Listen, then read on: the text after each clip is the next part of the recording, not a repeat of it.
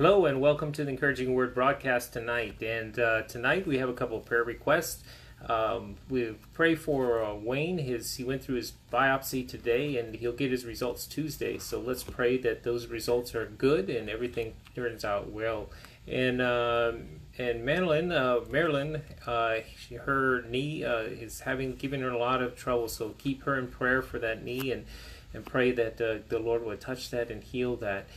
Amen. Um, also, let's go to the Lord in, a word of prayer for our our nation because we we definitely need prayer as a nation. Amen. Let's pray. Heavenly Father, we do thank you and praise you for this day, and do thank you for for uh, taking care of Wayne throughout his surgery, the biopsy, and God, we just pray for good results, or that you would direct and guide and and lead him, Lord, in his life, and direct him to you.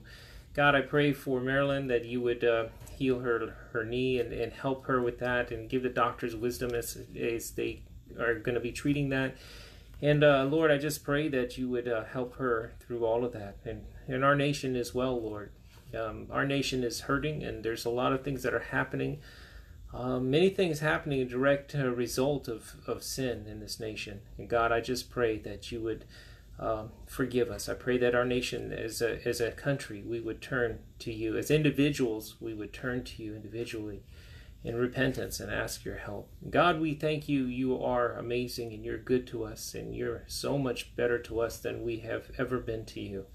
Lord, we pray that you would bless and, and strengthen and help your church here in this world reach out with the good news of the gospel of the Lord Jesus Christ.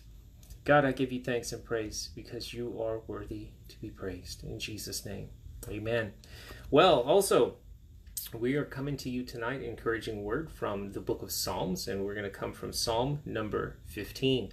So, Psalm 15 says, starting at verse 1 Lord, who shall abide in thy tabernacle?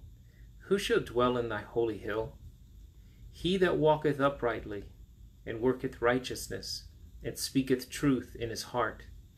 He that backbiteth not with his tongue, nor doeth evil to his neighbor, nor taketh up reproach against his neighbor, in whose eyes a vile person is contemned, but he honoureth them that fear the Lord. He that sweareth to his own hurt and changeth not. He that putteth not out his money to usury, nor taketh his against uh, taketh reward against the innocent. He that doeth these things shall never be moved. You know, as I was looking at this psalm, the psalmist asks, you know, Lord, who who shall abide in thy tabernacle? Who shall dwell in thy holy hill? You know, the good questions, good questions before the Lord. He he wanted to know, you know, who's gonna who's gonna abide there, who's gonna live there. And he says the answer here is he that walketh uprightly and worketh righteousness and speaketh truth in his heart. You see, God's standard is holiness. God's standard is righteousness. God's standard is truth. In in being upright, not wicked, not evil, not unloving, and not unkind. God says here in, in his word in verse 3 He that backbiteth not with his tongue, nor doeth evil to his neighbor, nor taketh up reproach against his neighbor. You see, God takes very seriously what he's he said from the beginning that we're to love him first and to love our neighbors as ourselves. This is one of the things that's sadly missing and lacking in today's world a love for God and a love for our neighbors. We must make sure that in our lives that our lives reflect this love. We have to, with all of our heart, love the Lord our God. With all our heart, all our soul, all our mind, all our strength, everything that's us. And we have to love our neighbors as ourselves we don't do wrong to our neighbors and we don't do be any of these things that say backbiting or you know doing evil or uh, taking up reproach. We don't do those things. We show love. Maybe we don't always agree with our neighbors on everything and that's okay but our attitude and our approach has always got to be one in love. Amen?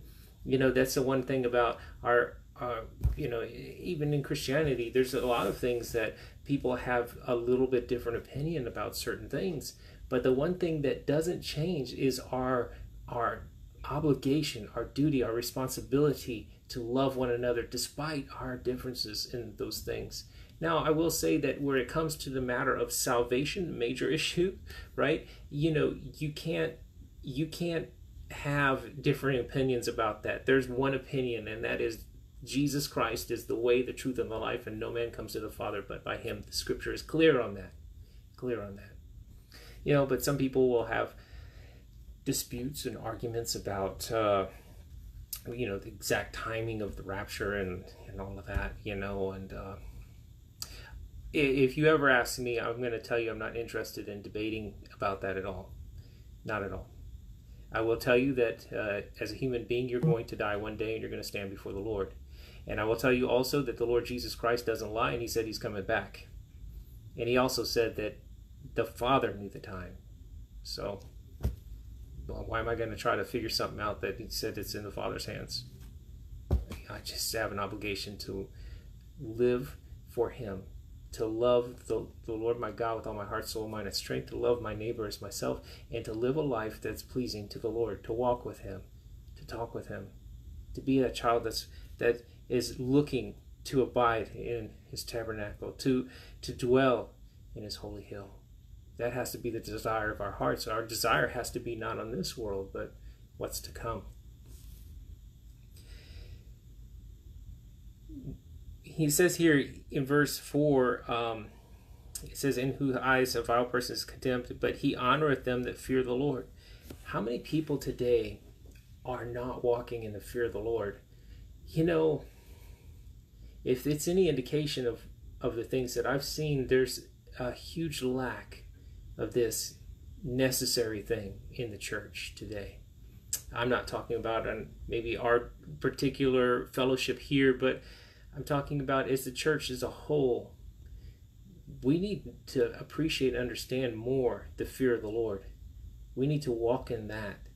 To know that that should govern, you know, two things that go hand in hand, what govern our actions the fear of the Lord and our love for God those two things right there should govern and in in and direct you in your conduct on a daily basis. Do you love God? Do you fear God? You know, those are questions that if you have no, if you answer no to either one of those, uh, then you have a big problem, a very big problem. You see, the fear of the Lord is the beginning of wisdom, right? So if you don't have fear of the Lord, first of all, you don't have wisdom. And without wisdom, you're headed into foolishness. So be careful. Amen. You know, it says here that uh, He honors them that fear the Lord. God honors you. Fear of the Lord is a good thing. It's a really good thing. And uh, love for God is a good thing. Keeping your eyes on what's important is a good thing. And asking God to put a guard at your lips is a good thing. You know, this life is short. We're only here for a little bit of time. And we have not, as people, treated one another right. We all, every one of us, need to treat each other better. We need to love one another better. We need to love the Lord better. We need to walk in a, a way that's pleasing to God because our lives are short and our time is running out. Jesus is coming soon. And even if he delays his coming, you and I will see him soon enough. You know, I think about today as I was I glanced at the you know the news and and uh, saw uh, you know some tragic you know tragic uh, deaths up in up north. One of the police officers was killed and another one wounded. I saw that uh, in this state we had, you know, uh, five more people die of this infection, this, this pestilence that's going on. And, um, you know, any death is tragic. You know, uh, every death is tragic because it's a loss for a family, someone, you know, mother, father, friend, brother, sister. And what's even more tragic is that there's many people that leave this world, this life, without Jesus Christ. To enter into a Christless eternity, I, I honestly can't tell you what would be worse? To go into eternity without Jesus Christ? That's a horrible thought. It's a horrific thought. God sent His Son. He offers life. He offers it to you. We need to turn to Him. And we need to embrace God with love. We need to embrace one another with love. Because you won't always have those people around you that you have around you today. Love one another. Live for the Lord. If you've sinned against God, you you, you know that you have uh, your fellowship is not where it should be. Then repent and ask Him forgiveness. He'll forgive you. He loves you. He'll welcome you. Bible shows shows us that when a sinner is repentant and turns to the Lord, not only does He accept you, He runs to you.